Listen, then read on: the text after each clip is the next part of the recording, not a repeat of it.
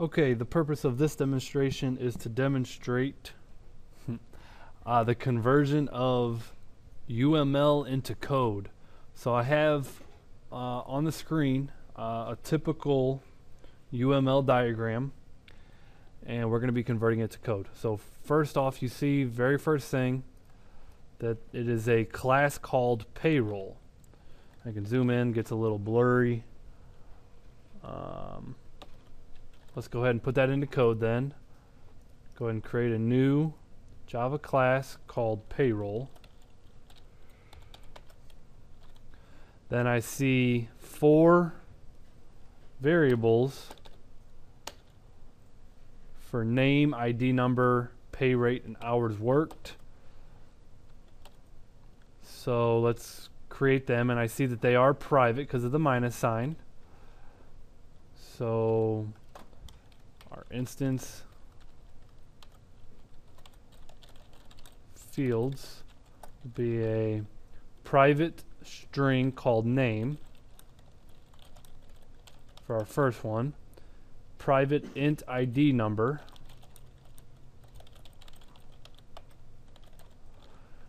A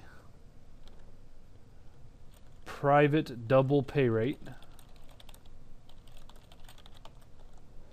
and a private double hours worked.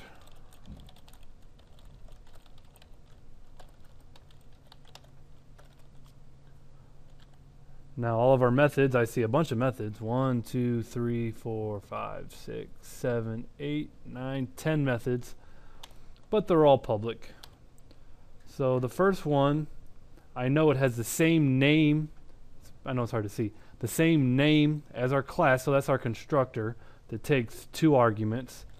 So I have a public payroll that takes a string called n and an integer called i. Well, I know that n represents the name, so name equals n. And the i equals the ID number, so ID number equals i and that's our two argument constructor.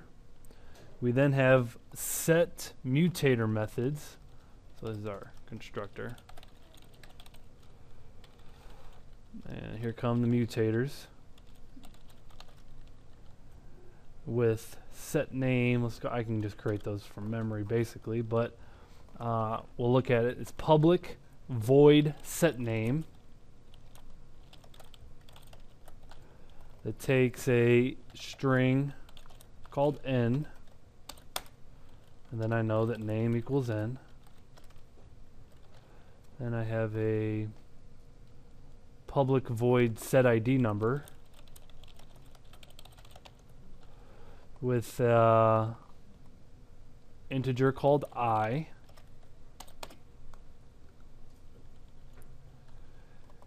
And then we say the ID number here. You can do a copy. Uh, copy, paste, equals the I variable that's passed in. After ID number, we have set pay rate, public void set pay rate, double P,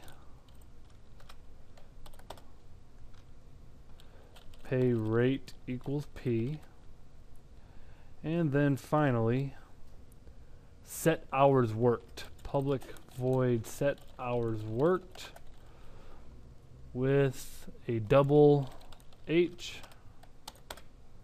The variable is hours worked equals the H value that's passed in. Then we are left with our accessors. Pretty standard here. I can minimize the mutators now. And get a public string get name that returns the name variable. Public it returns an integer get ID number. Returns the ID number. Get pay rate, which was a double. Public double get pay rate return pay rate. And then our last accessor, which I forgot to put my little friendly comment. Ah, our last accessor is for the hours worked. Public double get hours worked. Return hours worked. So we now have the accessor methods that are standard. And then the last method under here is get gross pay. So public double get gross pay. Well, I know there's no parameters there. I know that the gross pay is going to return the hours worked times the pay rate. So this is a calculation method uh, that returns the gross pay. And that is your conversion from UML into code. The last thing that we have to do here is create a payroll object, set all the instance fields, calculate the gross, well, get the values then that we want, and get the gross pay. So let's go ahead and do that here. And I will create a payroll driver. So I will say new class payroll driver. And in my driver, I'll have the main method, public static void main string args. And I'll instantiate a payroll object. Payroll, I'll call it employee one equals new payroll.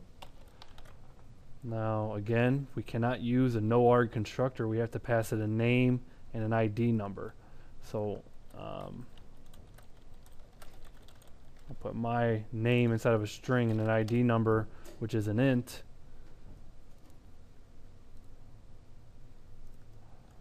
And then we'll set the emp1 dot set hours worked. Well, I work a lot of hours every week, so I'm just going to say 70. Um, I can even work a half an hour there because it's a double, 70.5. And then I can set my pay rate, and I don't really make much money, but it is a double, so let's just say I make $8.25 or 20 cents an hour. And now I can get the information. So there's uh, instantiates uh, a payroll object with to our constructor sets pay info now we're going to get the employee info And when we get it, we're going to use our print line. System out print line. Payroll info. Plus a line break.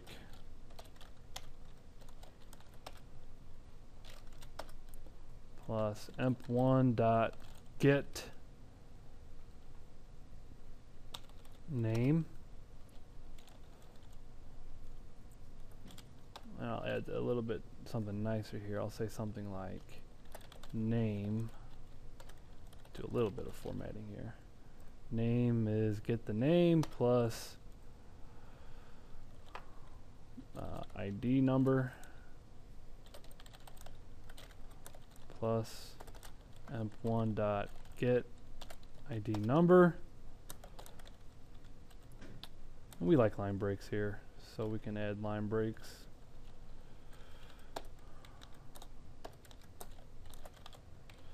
plus another nice friendly line break plus hours worked.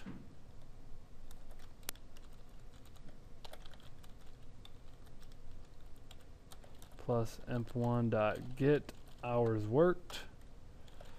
Plus a friendly line break. If I was smart I'd copy and paste those.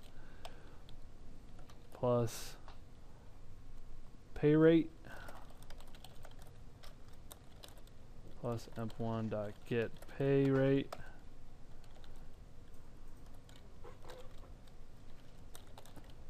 Plus gross pay.